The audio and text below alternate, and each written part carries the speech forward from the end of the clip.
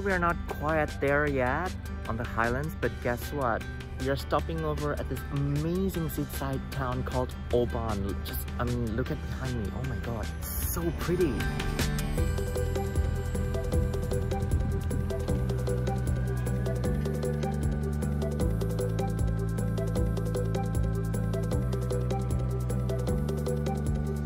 Literally just checked into my hotel as well and I can see that they are treating the coronavirus situation really seriously here in Oban.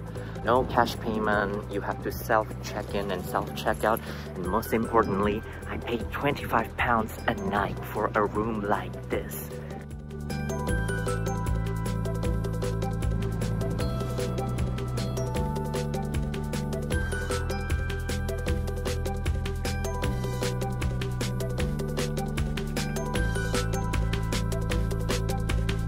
So we're in Glenfinnan right now. This is the famous one from the Harry Potter movies and obviously a lot of people came here to take photos of this place. But wait for it. I mean, look at this view. Jeez. That's infinitely better.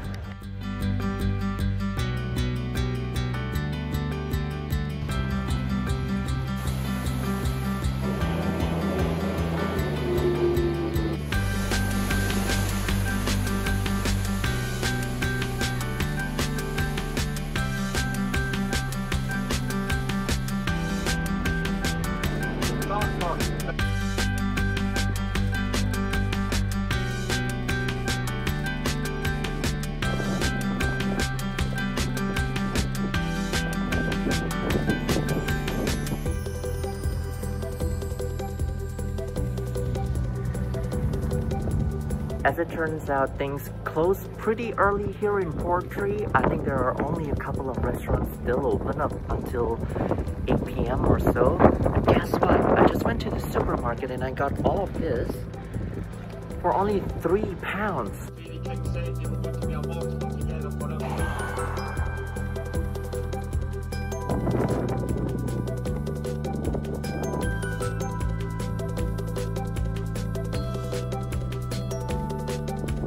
This is one of those few instances where I can actually take my mask off and experience everything, really. I mean, look at that!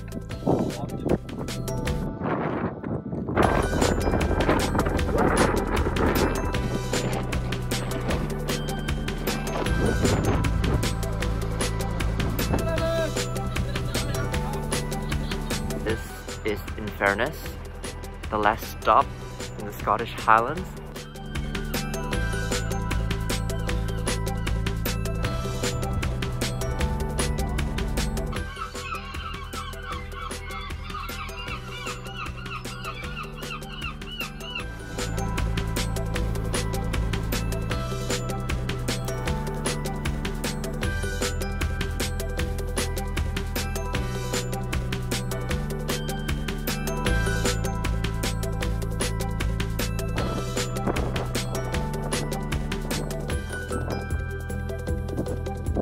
For certain, I didn't expect this to be this pretty, but look at this. A castle with this background.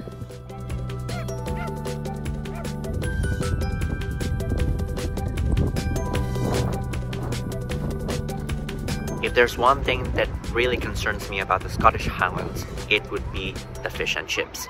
When I came here, I have the expectation that I can exercise every single day without my mask on. In reality, I end up eating lots of seafood, especially fish and chips.